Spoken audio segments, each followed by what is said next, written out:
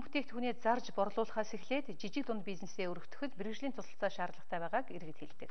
Тэгвэл бичил бизнес эрхлэгчдийн ажлын гарааг зөв тавьж төсөл хөтөлбөрт хамрагдахад нь тусалцаа үзүүлэх зорилготой бизнес хөгжлийн төв дүүрэг болгонд байгуулагдаад байна.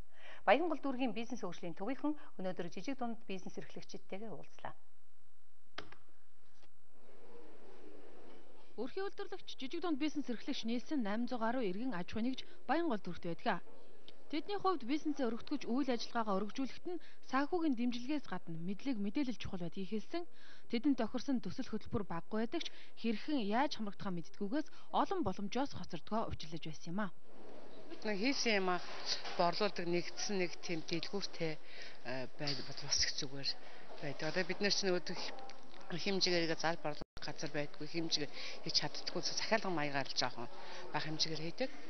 Тэгэхээр тоног төхөөрөмж мөн хөрөмж тиймэрхүү юм дээр бол зарим үед бол нэг хөнгөлтэй зээл юм уу эсвэл тоног төхөөрөмж нэг өвдөг ч юм уу тэр байтга өргөз зардал зөндөл гарч байгаа шүү дээ тий. Тэгээд эргэлтийн хөрөнгө өсөхөд бол одоо бид нарт одоо тэр төслийн талаар л одоо мэдээлэл авах гэж ирлээ энд.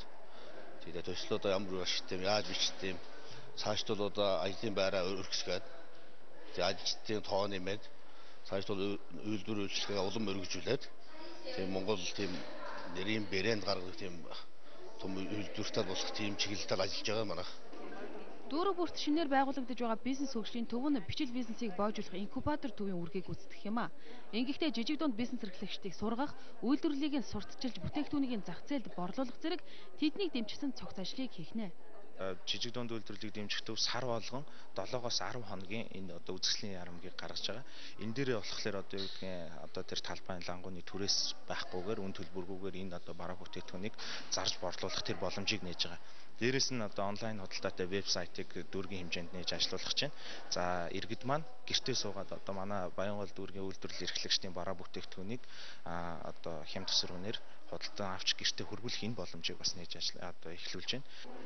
Энэ төв үйлдвэрлэгчдийн бүтээгдэхүүний зөвхөн дотоодын зах зээлд борлуулахаас гадна гадагшаа экспортлох чиглэлд зуучлах үүрэг гүйцэтгэх юм байна. Эхний ээлжинд хятад бурайд зэрэг хөрсөргөлтэй орнуудад борлуулахад нь дэмжлэг үзүүлэхээр ажиллаж эхэлжээ.